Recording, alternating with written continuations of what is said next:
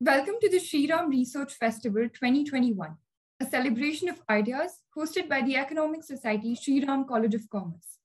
With the aim of advancing the ideal of research and delivering it to the vast student fraternity of the country, this festival aspires to acknowledge and amplify the drive for unique and authentic, research. To conclude day one with a noteworthy session, we're extremely delighted to be joined by Dr. Arvind Panagaria, a distinguished economist and professor of economics at Columbia University. Before we commence, let me take the privilege to give a brief introduction of our speaker to the audience. An acclaimed academic, Sir is a former chief economist of the Asian Development Bank and professor of economics at the University of Maryland. He has also previously worked with the World Bank, IMF, and UNCA, UNCTAD in various capacities. In March 2012, Sir was honored with Padma Bhushan, the highest, the third highest civilian honor bestowed by India in any field. A widely published professor of economics, Sir has written and edited more than 15 books. His books, India, The Emerging Giant, was listed as a top pick of 2008 by The Economist and Times magazines. His more recent book, Why Growth Matters, co-authored with Professor Jagdish Bhagwati, won the coveted Eccles Prize for Excellence in Economic Writing and was listed as the best book of the year by the Financial Times. Sir has also served as the vice chairman of Niti Aayog from 2015 to 2017. On behalf of the college and everyone present, I, Maithili Sharma, extend a very warm welcome to you, sir. The session will harbor around the state of the Indian economy pre and post COVID 19 the economic impact of the COVID 19 pandemic in India has been largely disruptive. Notably, India has also been had also been witnessing pre-existing risks to India's economic outlook. However, India's economic recovery has now gained much momentum, enthused by ebbing of the second wave, fast-paced vaccinations, and enhanced mobility. Without further ado, and to gain insights into the topic under discussion, I'd like to welcome Dr. Panagaria to address the session with his opening remarks. Thank you, Maithili. Um, just uh, how I do maybe 20 minutes and then we take Q&A? Yes, sir, that works. Okay. Okay, so good morning to, uh, well, good evening to good night to everybody. Uh, uh it's a morning here. Uh, uh, it's, I'm coming from New York. So um, uh, okay, uh, uh, let me just give you a, a very long overview uh, and uh, then come to the present day. Um, and, and I'll uh, say many things which may seem like assertions simply because I want to put things on the table. and since there is not enough time to elaborate on each of these things, it is good to at least have them on the table in case you then during Q&A have questions uh, uh, uh, Uh, uh, uh, on those issues. Um, so take a very long view of India's economy starting in 1950. and if our income per capita income in nine, 1950 was let's say 100 uh, you can think of it uh, as 100 rupees per week uh, per person but i'm just indexing it so think of it uh, as 100 uh, in 1950. Uh, then around about 2000, 50 years later, this figure had reached about you know 310. so you know, in, in, in 50 years, what we did was to add about 210 rupees uh, uh, to, or 210 to the uh, income of per capita income of 100 in 1950. Uh, uh, by 2019, 20, uh, 2019, that figure, this is just pre-COVID, that, that figure would be about at 850, right? So uh, effectively what we had done in the, uh, you know, we, we added about 210 in, in the first uh, 50 years, but within the following 20 years, we have added uh, about, uh, uh, let's say, what, 540 or so, which, which is, you know, more than twice of what we did in the long period of about 50 years. And that is really the difference between, uh, you know, the kinds of policies that we pursued uh, uh, uh beginning after the independence uh, and the uh, change that came beginning largely in 1991. You can trace it back maybe to 1980s, some of it, but really the, the, the, the truly kind of uh, change uh, in, in, in, the, in, in the approach, uh, in, in, in the true uh, sense, the, the, the, policy framework itself was, uh, you know, some changes in the 1980s uh, in, in this direction were within the old existing policy framework. but 1991 was the watershed year when we basically said that we are going to now adopt a new policy framework. Uh, and then the, basically all of you probably know that, you know, pre-1991, we were in a very controlled regime, uh, uh, uh licensing on uh, imports, licensing on investment, uh, nearly autarkic, meaning, you know, very inward looking trade policies, Uh, uh, uh, very distorted capital markets, very distorted labor markets, very distorted land markets and all. Uh, in 91, we began to dismantle that, uh, that regime. Uh, and, and that process is still ongoing. some setbacks, including one today where the farm laws have been withdrawn. but generally, you know, move continuously towards giving greater play to markets. And that is uh, and also opening up the economy. So both uh, of those things have uh, given dividend. And it's not you know often it is confused that uh, somehow growth for growth uh, growth for its own sake. Growth is not for its own sake. Growth is to combat poverty. Uh, and and the, the numbers the evidence is completely unequivocal like you know during years that we have grown rapidly. uh, uh, you know 91 onwards so you know we do these uh, expenditure surveys in every five six years unfortunately you know the last one uh, has not been released uh, for good reasons. 80, uh, that, that would have been 17, 18. So last, the latest we have is 11, 12. So you can look at poverty figures in 93, 94, uh, 4, 5, and 11, 12. Those are, you know, well done surveys, completely comparable uh, and all. And, and you see, you know, massive decline in poverty. And this decline is not limited to any specific group. You can look at rural poverty, you can look at urban poverty, you can look at poverty of, of the uh, scheduled castes, you can look at poverty of scheduled tribes, you can look at poverty among Hindus, among Muslims, among Jains, among Sikhs. Every single group uh, doesn't mean every single individual has been made better off uh, uh as far as poverty is concerned, uh, uh, but certainly taken as a group, any well-defined group actually shows a very significant decline in poverty. Less so overall, I would say, you know, among the tribes, because they are not so well embedded in the in, in the general economic system. tribes tend to be far more rural than, than the rest of the communities. Uh, and they uh, even uh, within rural often they, they, they are not in the mainstream of the rural economy so but even there actually you see a significant decline in poverty uh, i'm not give, going to give you numbers here you know i can give you some uh, slides etc but but i'll refrain from that uh, i think you know we given the time frame I, I would simply put that on the table now, last, uh, uh, so pre-COVID, uh, if you take pre-COVID, 17 years I want, I like to take. This is uh, beginning with the year 2003-4. This is the first time, you know, we kick off a growth rate of about 8%.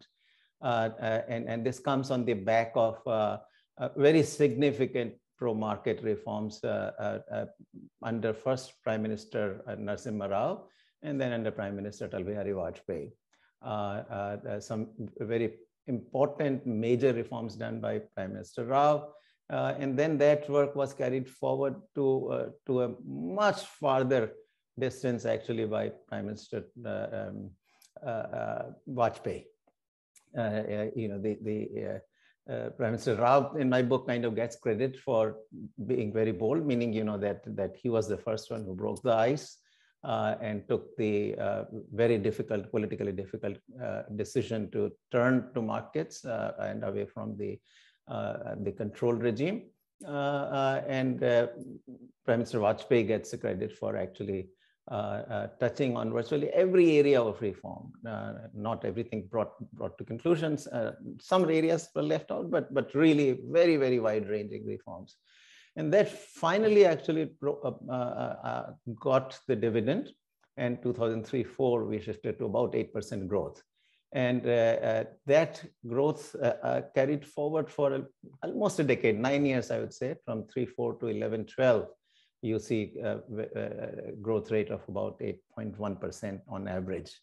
Uh, uh, and, and that's, you know, uh, and that has continued you know if, uh, uh, given the current kind of pessimistic uh, mood because of covid we think that somehow you know things have gone completely out of control and so forth and if you were to read as i do the economist magazine here it calls the 2010s as the lost lost decade uh, but the fact of the matter is that, of course, Economist doesn't uh, uh check its numbers.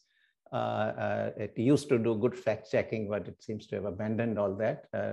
most of the, the, the media in, in, in, in, in the Western world, including the Financial Times, New York Times, etc., Washington Post, have all abandoned the facts and, and it, it has become all about assertions. Uh, but the fact of the matter is that 2010s actually also uh, uh, until the end of the, uh, until the COVID hit. So if you take the decade that precedes uh, uh, end of March 2020, right? That's the dividing month between COVID and non-COVID period. If you take that whole decade, average growth rate was 7%. So if we take, you know, the full period of these 17 years from 2000, uh, 2003, 4 uh, to 1920, uh, India has grown on average 7.4%, 7.3, 7.4. Now, you know, for a democracy, certainly uh, that is unprecedented. There is no other example of a democracy growing on a sustained basis for 17 years at 7.3 or 7.4%. Uh, so that is really the good news. Uh, in a way, the bad news is that you know our potential, India's potential is higher. Uh, uh, there is no reason why India should not grow also at about eight to ten percent uh, at, uh, for a considerable period, meaning two to three decades, uh, which is what some of the really the miracle economies, as we call them, like South Korea and Taiwan, Singapore, during these six, you know, 60s, 70s, and 80s did. Uh, uh, and China later on in the 80s, 90s, and 2000s uh, we also should be able to, you know, do that kind of growth for uh, at least a couple more decades, I would say, uh, once once COVID settles. Now, why uh, am I optimistic? And I'll then also point out a little bit on on what some of the weaknesses uh, of, of our economy are. So first, why I, am so upbeat actually that once we beat uh, uh, COVID, uh, uh we would grow uh, for sure somewhere between seven to 8% for the coming couple of decades.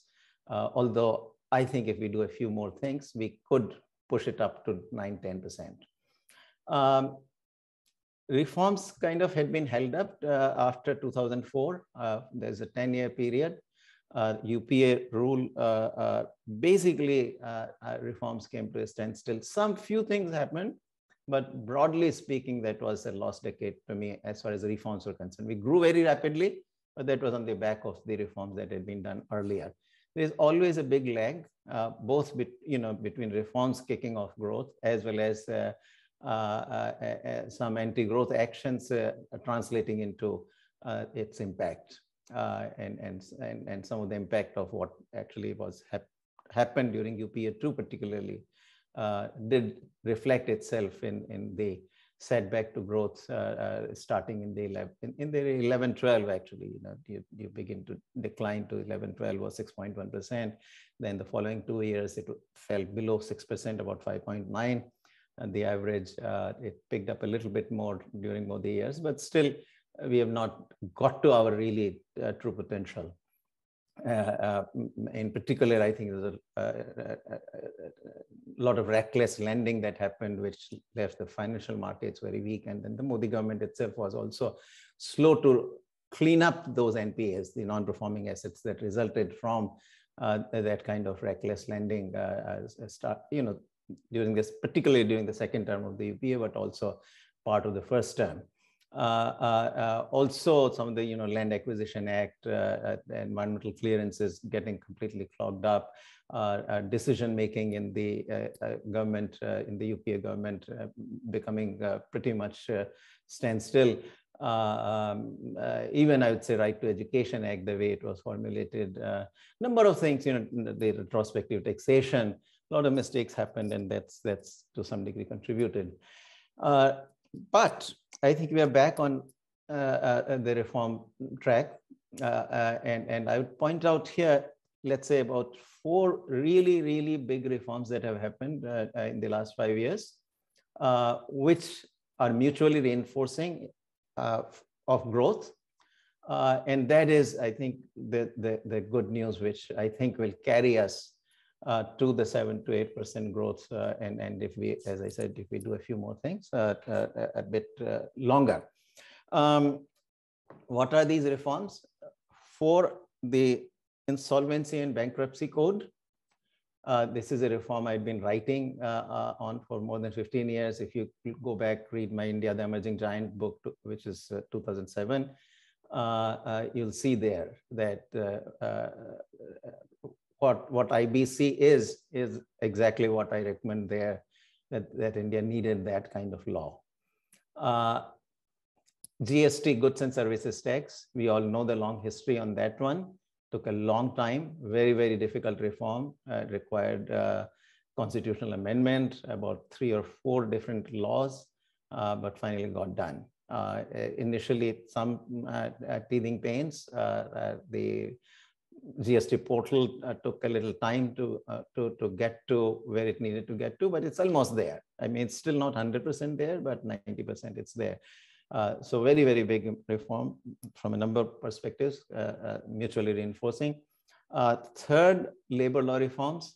These are also about 90%, I think 10% remains. But the good news on that is that for the remaining 10%, the law gives the power to the states to, to make the necessary change uh, just by uh, a notification. They don't even have to pass a law. By notif notification, they can do it. So if some, at least a few states do the right thing, uh, we are, will be there 100%, but certainly 90% uh, uh, labor law reform has happened. Uh, and finally, the knocking down of the corporate profit tax to 17% for manu new manufacturing investments and 25.2% for the rest from something like 34, 35%. I think uh, that's, that's another very, very big reform. So all these four mutually reinforcing reforms, I think would return us to faster growth. Also, uh, uh, uh generally what I see, uh, you know, the numbers are yet not quite uh, um, fully available, but Uh, uh, uh, from every whatever is available it, it looks like you know the lot of the deal leveraging that needed to be to happen for the corporations from you know the the state of non-performing assets and all has happened. Similarly for the banks also uh, the the uh, uh, the the balance sheets are now in much better shape. So both corporate balance sheets as well as the bank balance sheets are in much better shape. It seems. I mean, I we had feared that that, that post COVID this may actually get worse, but it, it does not seem to be the case. Uh, uh, uh, so so that also is goes in the very positive direction.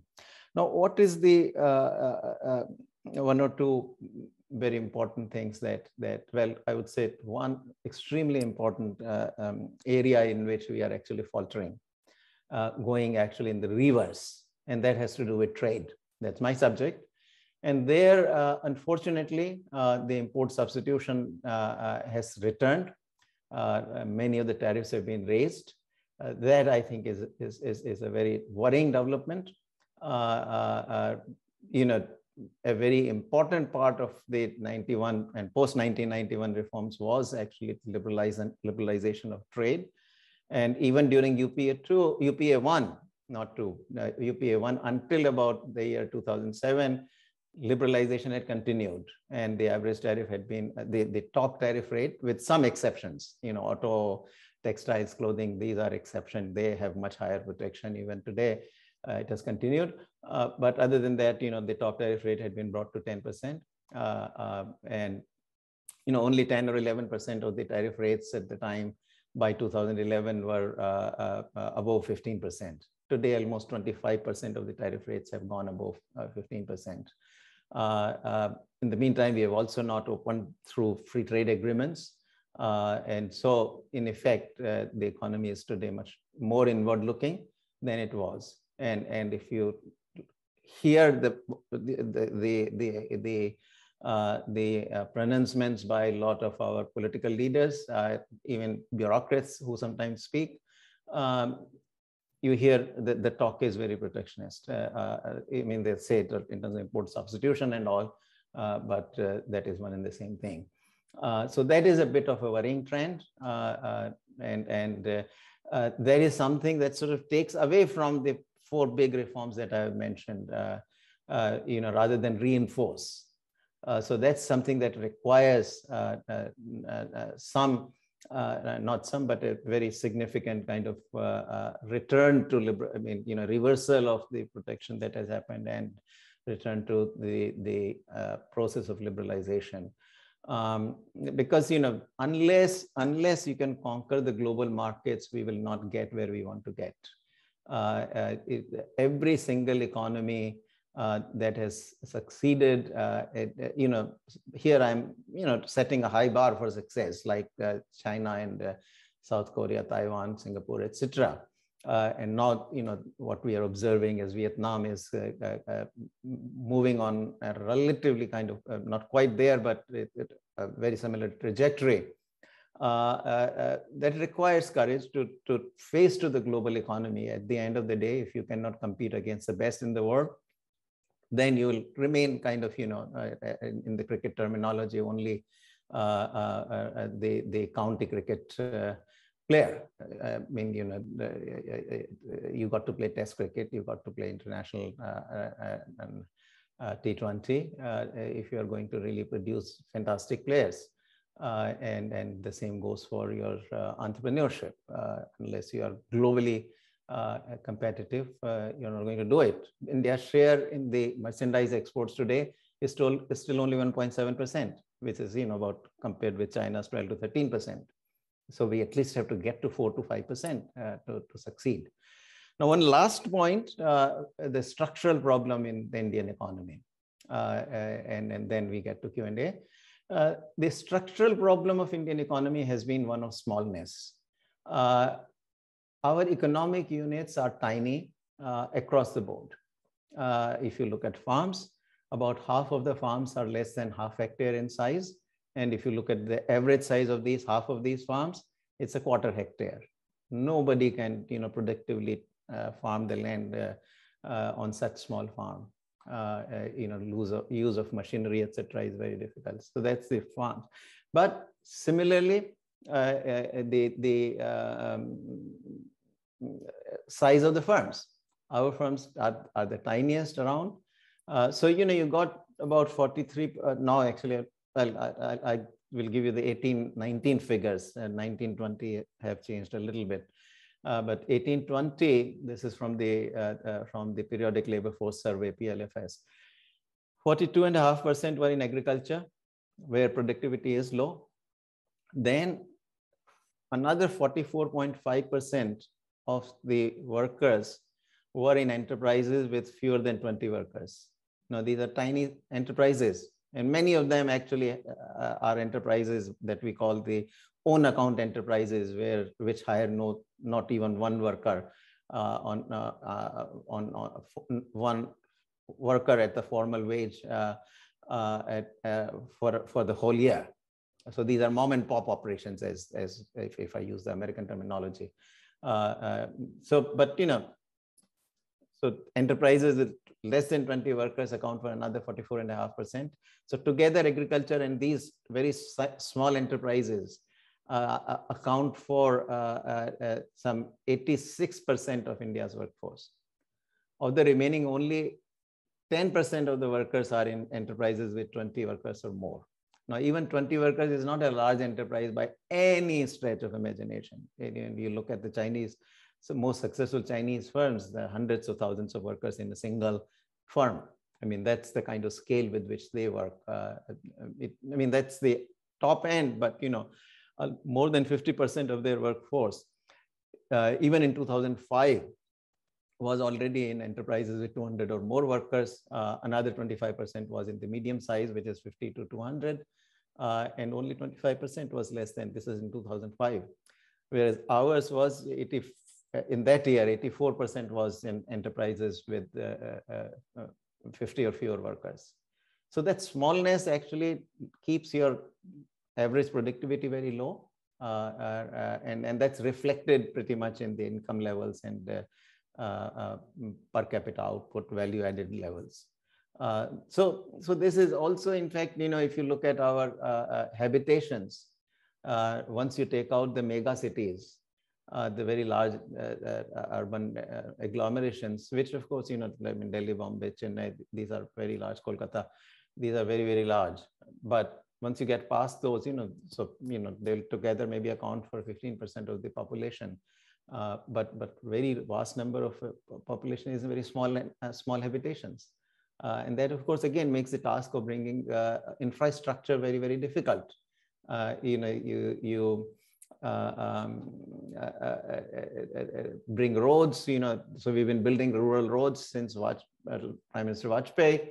Uh, the task is not complete. Uh, you know, connecting every uh, urban household, every rural kind of habitation to some urban center task remains incomplete after uh, at least 20 years of very, very concerted effort, large amount of resources deployed, etc. You want to bring in electricity, it's a difficult task.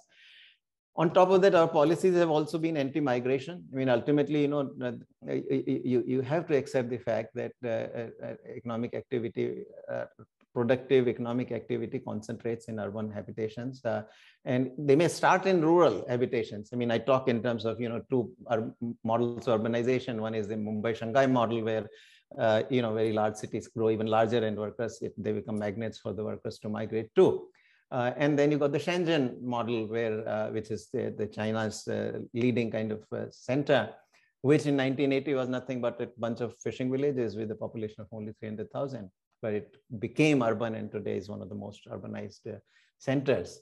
Uh, so one or the other way, ultimately the highly productive centers are going to be urban if either they, they are urban or they will become urban.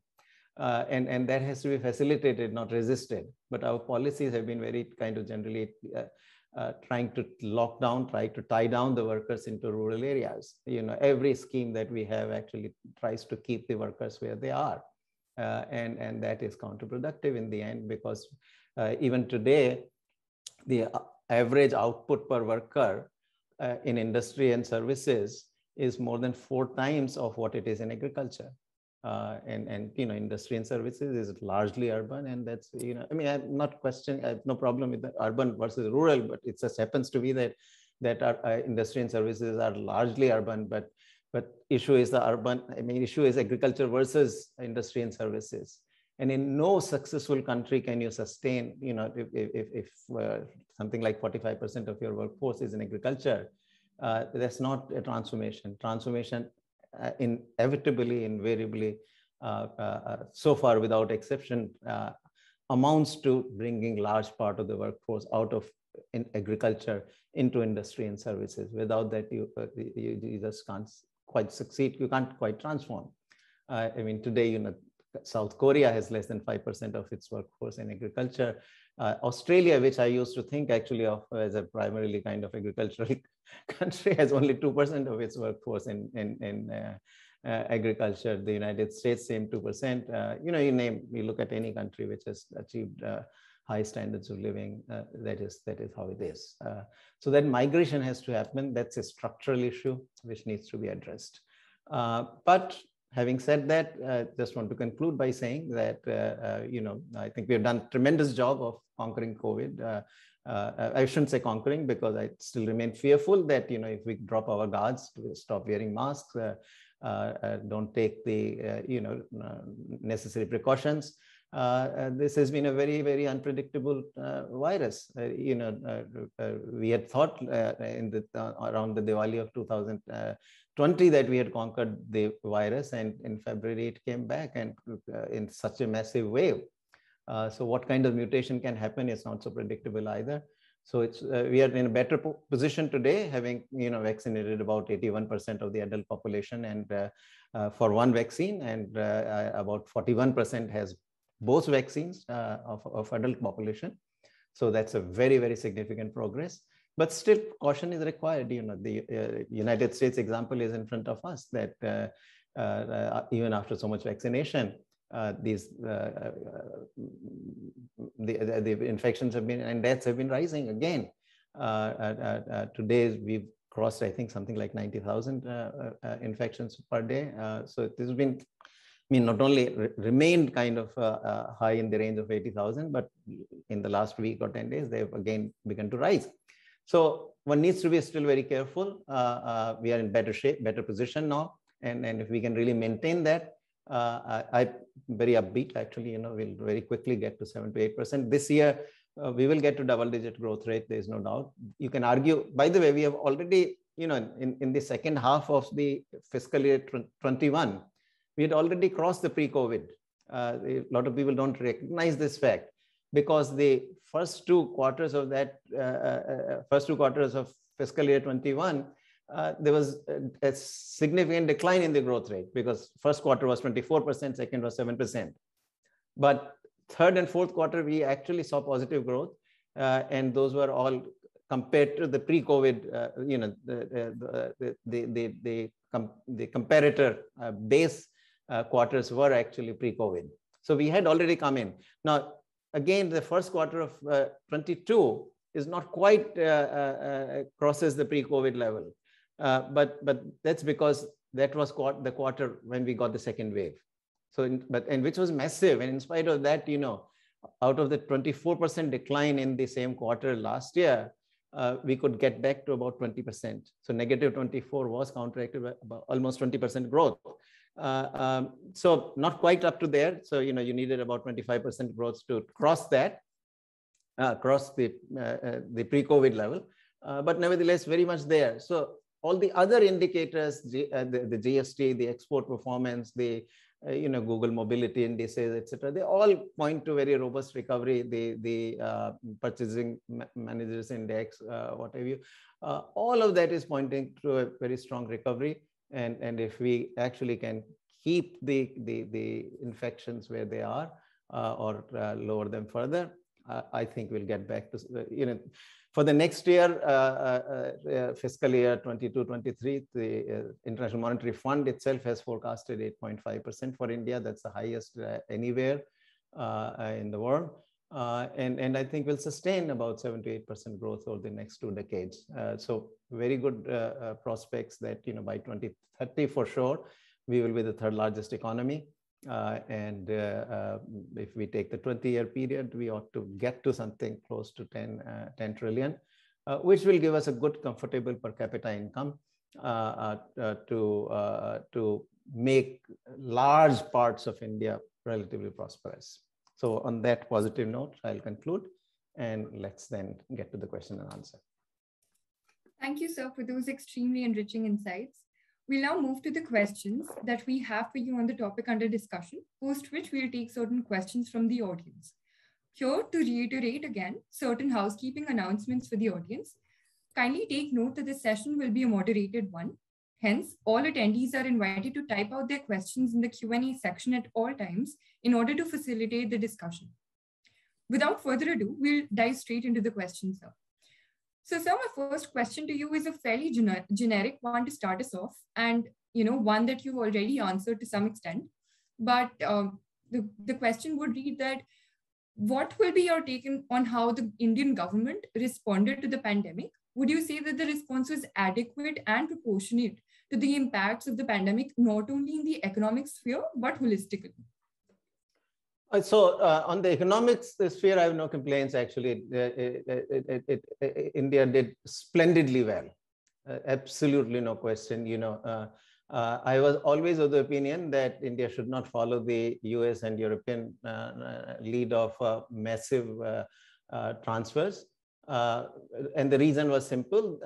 I don't know why all the other governments missed this, that the, the pandemic uh, was uh, a shock both to demand and supply. It was not just a demand shock. If it's just a demand shock, then you go with uh, curing the demand problem. Uh, but it was also a supply shock. Uh, workers couldn't get to the workplaces. Uh, different firms could not get their raw materials, could not get their components. so the, none of that could happen. So economic activity couldn't happen basically for a considerable part of that period uh, and particularly when, they, when, when the pandemic was so intense. Uh, and so the right thing to do was to uh, ensure that everybody has access to food, everybody has access to shelter, uh, uh, uh, and then work on the supply side problems because without solving the supply side problems, you're not going to get the economy going, which is exactly what the government did. Uh, and uh, the, the United States and Europe, most European economies that actually uh, uh, made massive transfers only ended up with uh, massive savings, which are now being spent now that you know this the the um, basically economy is opened up. now the, and, and that's translating into inflation. US has an inflation in October of 6.2%, which is highest in 30 years. Uh, so I think no question we handled that very well.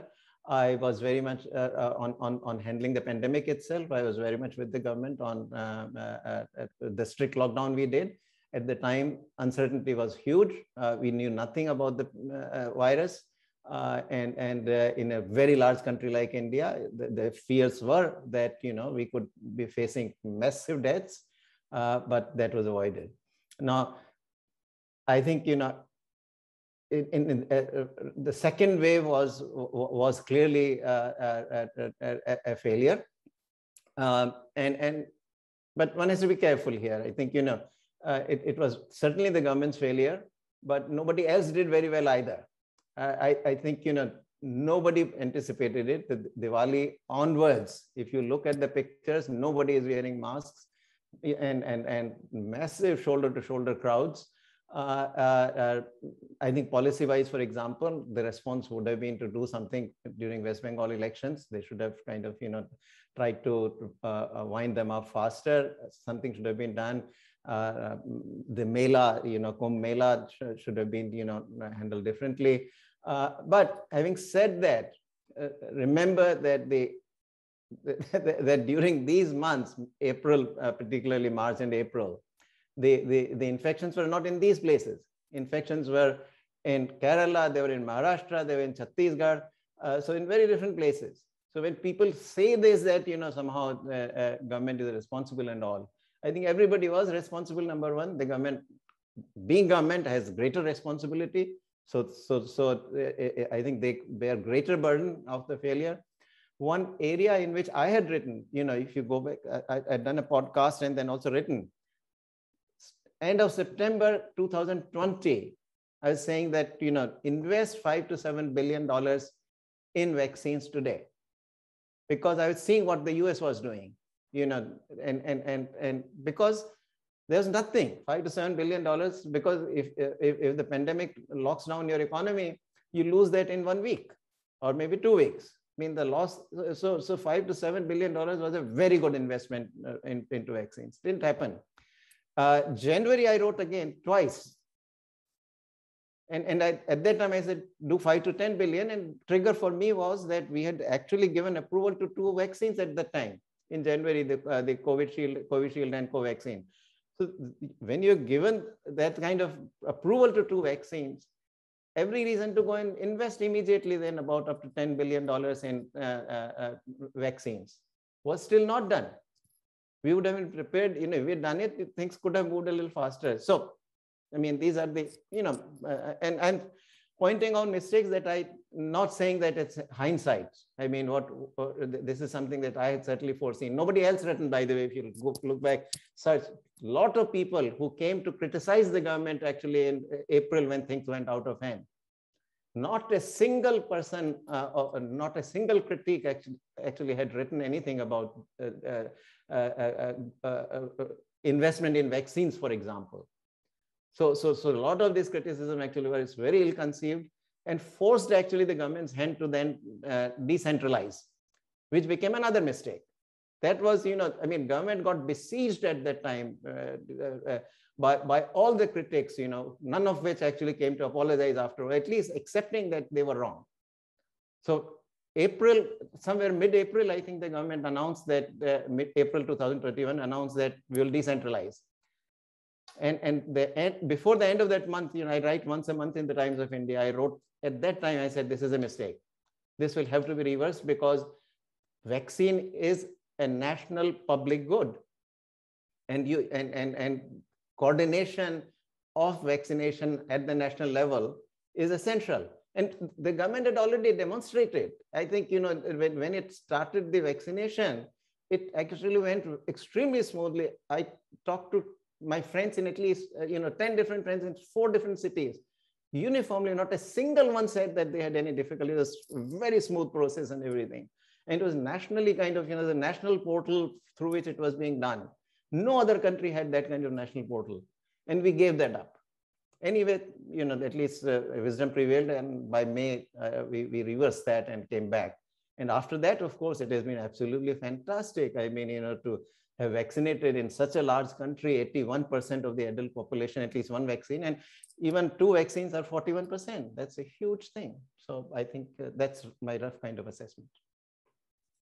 Thank you so much, sir, for that answer. Moving on to the next question, which you also spoke of during your opening remarks, the fact that there were extensive talks about the Indian GDP rising by 20.1% in the April-June quarter, which was also notably the fastest pace since the mid 1990s, in fact. However, a much needed insight here was the fact that the rise was observed after a stark fall of 24.4% in the same period, like you mentioned. Considering that this happened alongside the disastrous second wave, how would you say that a probable third wave, as has all already been warned by the RBI, will affect the forecast annual growth of 9.5 while the ADB also predicts a 10% growth rate. Well, so far, look, you know, the pundits were forecasting a wave in October. Uh, uniformly, those were the reports. Uh, if you go back to, you know, period before October. So on that, they have proved, proven wrong in the first place. So, so uh, I mean, I still want to be cautious that, you know, that doesn't mean the third wave is behind us. No, actually, that, the, by the way, the behavior of the people uh, again became what it was uh, during the Diwali period of uh, uh 2020. I mean, we again, there were massive crowds without masks or anything shoulder to shoulder and all. And, and you know, this virus we don't know because even though the mask had been dropped in uh, Diwali in 2020, uh, the wave started in February, around 10th February, they began to rise. Um, so we don't know I mean, this is an unpredictable virus uh, and, and what mutations might happen. Now, because of the vaccination, maybe mutations are less likely now, uh, but you can't rule out. So, so that I think, you know, with that cautionary note, uh, I would say that uh, uh, first of all, the 20% growth uh, was, after all, alongside a, a, massive COVID wave, was a very good performance, I would say. And we know that the two quarters that preceded this, uh, this 20% growth quarter were above pre-COVID growth. So we had the second half of the uh, fiscal year 21 that was higher than the, uh, uh, uh, uh that, that already had put out GDP levels that were higher than pre-COVID levels. So I think this is why I, I remain upbeat and, and I've already said this before. Thank you, sir. So the next question I have is, so increased factory output, a bullish stock market, multiple huge IPOs, decline in unemployment rate, increasing foreign investment, and easing inflation are all signs of a recovering economy. And in the wake of the same, we also see a privatization push by the government through market-oriented changes, hoping to lure investment away from China and other countries. In the same context, then, sir, in your opinion, will the privatization frenzy be going to bear fruit for the for the country? Oh, absolutely. You know, I mean, I've advocated that for a long, long time, and uh, all the evidence shows. You know, number of privatizations were done during Vajpayee era, and uh, uh, uniformly those uh, uh, uh, enterprises, once they passed on to private hands, have all done much better. Much. I mean, you know, it's not a small difference. The, the, the difference is just night and day. So look, I mean, you know, at the end of the day, uh, uh, for enterprises to succeed, you need commercial pressure. You need the possibility uh, uh that if you don't perform, then you perish. Uh, but, you know, when you run things on taxpayer money, there is no threat of perishing. Uh, at the same time, those who are running are always worried about the vigilance agencies coming after them eventually. so these enterprises cannot run on commercial terms. And uh, no surprise, you know, we had a, a, a, a, sad, sorry, and sordid episode like Air India, where the taxpayer was uh, uh, left uh, uh, uh, high and dry um, with billions and billions of dollars worth of debt that that the taxpayer will have to now foot. so, so this is very important. unfortunately, privatization has not progressed very well. Uh, I mean, Air India is the only uh, one final success that we can um, count. But uh, I had started the process myself actually when at Niti Aayog in 2016. Uh, and Prime Minister uh, was always with it. Uh, he had, without his blessing, of course, the Niti Aayog couldn't have pro proceeded further. we, we, we had given out list after list. Cabinet had cleared them. Uh, but in the end, uh, uh, the our processes are really awful. Actually, I must say, you know, I mean, even today's Times of India, look up, you know, the, there was a privatization done under Prime Minister Vajpayee in 2020, 2002, which was already investigated by the CBI. And now the Supreme Court says that no, no, no, your investigation is not good enough, so it has to be investigated yet more. I mean, what is bloody? I mean, what here? You know, in, in the end, uh, uh, uh, uh, the, the, the, courts are getting into all kind of economic issues well beyond their either their mandate or their expertise. And so that is a serious problem in, in the current system as well.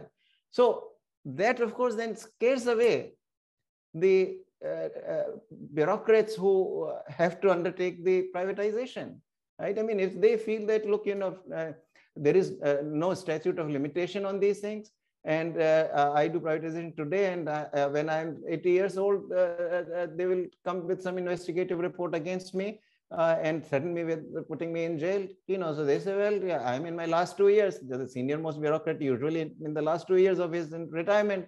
So why do it? You bide your time and retire. Let the hot potato be passed on to the next person. So the system, the, the, the, the, the, the, systems have not helped in this process, unfortunately uh, that is a sad thing. I mean, you know, the fixing that, that, that part of the system is not an easy task, but you know, ultimately we'll have to face that, uh, you know, uh, or at least start closing down the non-performing uh, um, uh, public sector enterprises so that eventually, and not keep putting more and more money into new public sector enterprises. I mean, you know, if we put a stop to that, uh, that itself will help actually, you know, ultimately that proportionately the activity share of the private sector will continue to rise. All right, sir. I'll just take one last question and then we'll take questions from the Q&A box. So, um, so a flood of unicorns and strong IPOs in the pipeline over the next two years, uh, how do you think India's market capitalization is expected to rise, enabled by the rise of the internet ecosystem, availability of private capital, and favorable regulatory environment? Look you know if i knew if i could predict that then I, I, why would i be giving this lecture you know? I would just do what uh, uh, Jhunjhunwala is doing. So uh, I, I, mean uh, I, I, all i can say is the economic prospects I, I see them as being very good.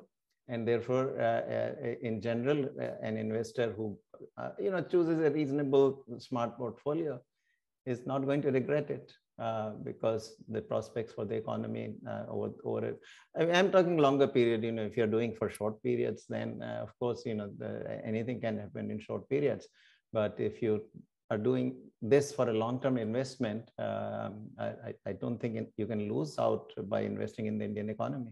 Uh, have a diversified portfolio and uh, and uh, stay there for a for a while. Stay there for a while. You know, uh, they it, because the prospects for the economy are very good. Thank you so much, sir. Uh, now I'll move to questions from the Q&A section. Saransh Pudar asks, um, so which one of the two do you think is better, bilateral FTAs or multilateral trade pacts from the point of view of the Indian economy? Look, you know, multilateral will always be better. Uh, uh, uh you know, if we can really liberalize uh, uh, on on our own, knock down the tariffs, um, there is nothing comparable to that. Uh, the unfortunate thing is that uh, in the current um, environment, it doesn't seem to be happening.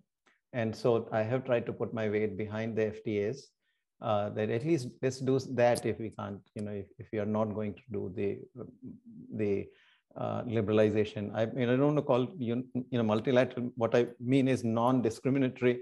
You knock down tariffs against everybody rather than uh, uh, selectively against your FTA partners. I think that will be the first best thing to do. Uh, but but if we are not going to do that, then at least let's sign FTAs. Yes, sir. The next question is by Hardik Sharma.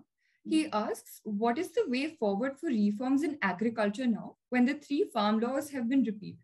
What can be a better strategy for government to bring about these quintessential reforms in the future? Uh, I'm sorry, Hardik, you know, for a while, I think uh, we are set back on that front. Um, uh, very unfortunate indeed, uh, but uh, uh, these marketing reforms were really very, very important reforms. and, um, you know, given what the baggage now that, that, that has been created, um, you know, setback is bigger than it may, than, than just the farm laws themselves because uh, remember that uh, for 17 years, many of these reforms had been tried at the state level. You know, the uh, agricultural marketing is a state level issue. Um, and uh, uh, state APMC laws, the, the Agricultural Produce Marketing Committees Act, these were being reformed. some many of the provisions uh, uh, had been enacted of, of these three laws had been enacted two actually not the three third one is a different one uh, uh of the two laws uh, uh, were enacted under the state reforms earlier and that was the process going on so even that process now gets set back i think you know because states will become more cautious and it has strengthened the hand of the intermediaries the arhtiyas effectively you know the commission agents at the APMC uh, markets. So, so that's a setback. I would say that let's then work on other fronts. Uh, uh, you know, uh, uh, there are issues of electricity, issues of water, uh, Uh, issues of uh, uh, crop diversification.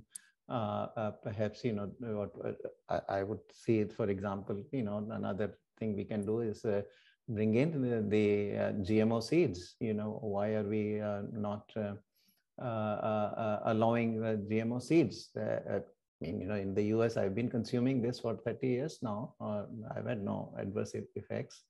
Uh, uh, in co cotton we have already had. And anyway some of the stuff we are importing actually does carry the uh, you know some of the oil seeds etc they they carry the gmo impact. So so that's another area where one can do.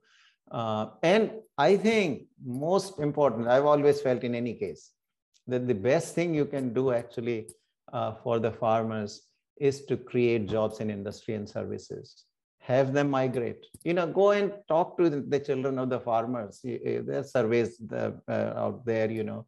Uh, uh, most of those children are are not keen on becoming farmers. They want to do other things. They want to do, take education get education. They want to be in the cities and all. So if we actually create uh, uh, uh, good jobs for in, the, in industry and services, I think that you that is the best thing we will ever do for the farmers. I mean, frankly, look, I don't think we could have solved the poverty problem of the farmers or, or not poverty, but certainly low prosperity problem of the farmers through even these farm laws. Uh, because uh, the, the, the average value added in these farms is so low that even if you double or triple it, it's not a very large number. It's not a very big number. Remember that, as I said, you know, industry and services average uh, work, uh, output per worker is already four times that in agriculture. So you do not even, even when you triple it, you're not bringing them even to the current level of industry and services. So ultimately, I think salvation for the uh, for for the farmers, particularly these farmers who are working on the bottom half of the farms, which are less than half hectare uh, in size. Uh, uh, ultimate salvation is by creating jobs in industry and services. So that's where the other reforms are very important, and and and don't you know have this mindset of uh, oh, uh, the farmers should stay in the rural areas. Don't don't come to the urban areas because the life in slums is so bad. Well, if life in slums is so bad, improve the life in slums instead of you know investing money in uh, uh in owner occupied housing.